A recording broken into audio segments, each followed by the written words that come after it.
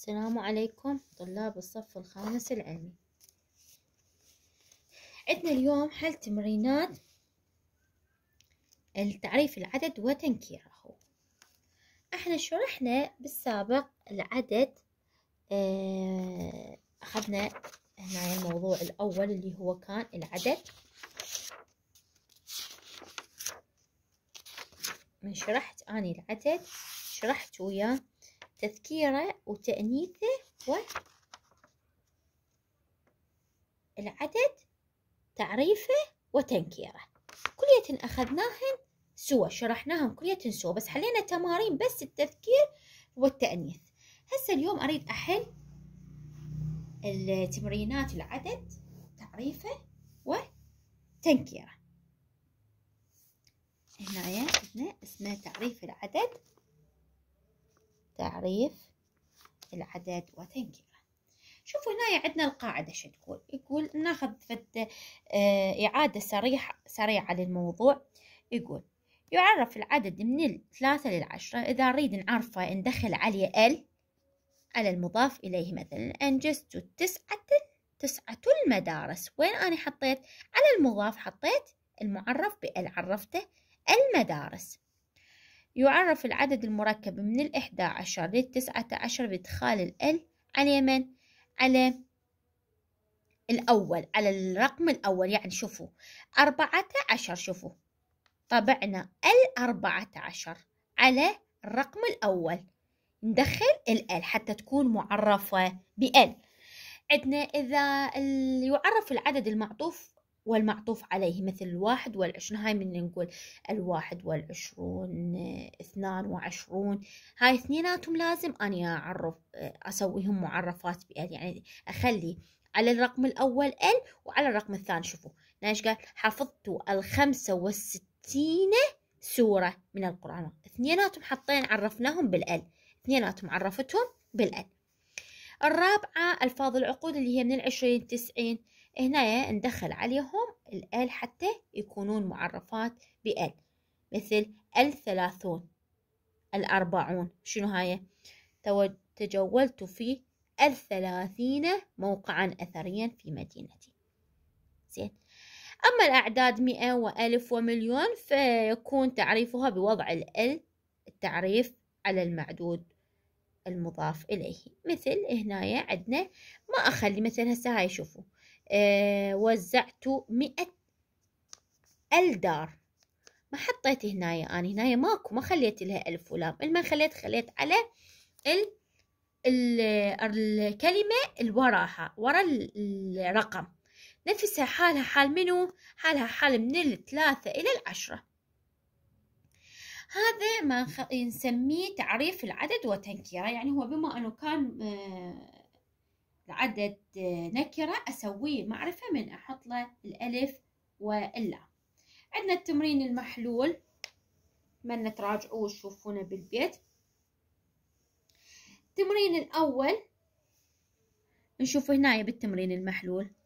تفوق في الامتحان عشرة طلاب يقول لك وين أخلي هنا المعرف بأل؟ وين أخليها أخليها على إحنا إيش قلنا؟ قلنا من ثلاثة لعشرة أخليها الكلمة الورا الرقم. يعني هنا عشرة الطلاب تصير الطلاب بعد هنا أنجزت أحد عشر عامل أنجزت.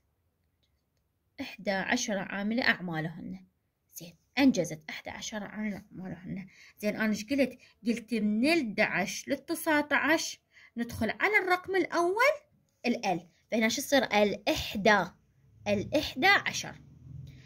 قرأت ثلاثة وعشرين بحثا علميا. زين أنا إيش قلنا بال من الواحد وعشرين للتسعة وتسعين؟ إيش قلنا هنا من الواحد وعشرين؟ قلنا حندخل الأل على الرقم الأول والرقم الثاني. شو يصير؟ قرأت الثلاثة والعشرين. اثنيناتهم أخلي لهم الأل على الثلاثة أخلي أل وعلى العشرين أخلي أل. حفظت الثلاثين آية من القرآن. شو تقول حفظت الثلاثين الثلاثين. قلنا من ثلاثين ألفاظ العقود ندخل على نفسها ندخل الأل على نفس الرقم. من ثلاثين للتسعين أخلي نفس الرقم أدخل عليه. المئة قلنا نفس منو؟ نفس من الثلاثة للعشرة. أخلي على ال على الكلمة اللي ورا. المئة هنا مثل أنجز المشروع. مئة العامل زين؟ هنا نخلي الأل هسه نجي نشوف التمرين.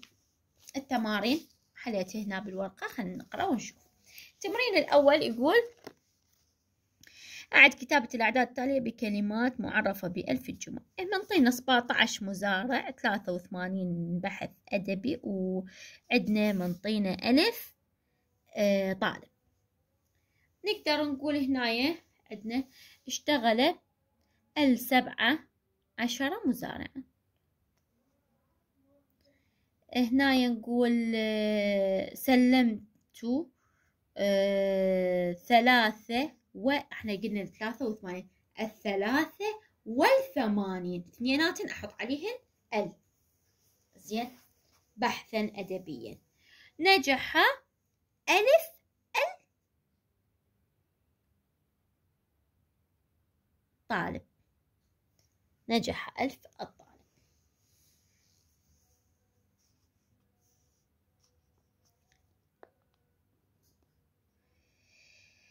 التمرين الثاني يقول كون ثلاث جمل تشمل كل منهما على عدد.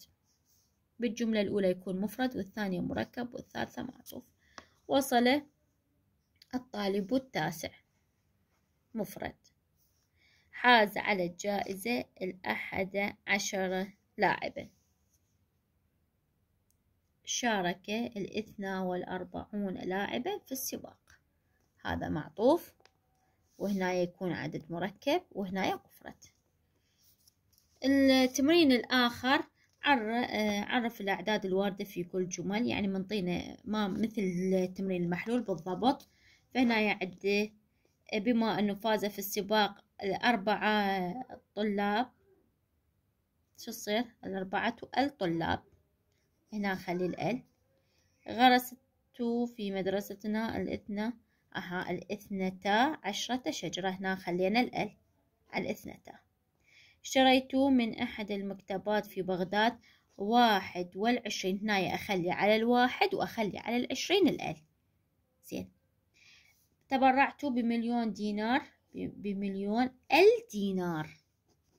الدينار لجمعية الأمل الخيرية.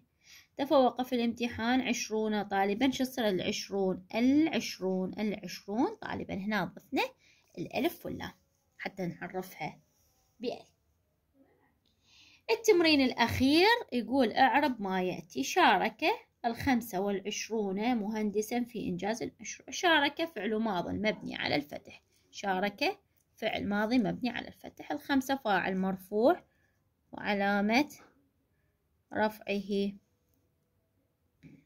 الضمة الظاهرة. الواو حرف عطف هنا العشرون اسم معطوف آه، مرفوع وعلامة رفعه الواو لأنه ملحق بجمع المذكر السالم. نجي مهندسا تمييز منصوب وعلامة نصبه الفتحة الظاهرة على آخره في حرف جر. إنجاز اسم مجرور بحرف الجر. في وعلامة جره الكسرة الظاهرة في آخره وهو مضاف والمشروع مضاف إليه مجرور وعلامة جره الكسرة الظاهرة في آخره. انتهى حل تمارين تعريف العدد وتنكيره.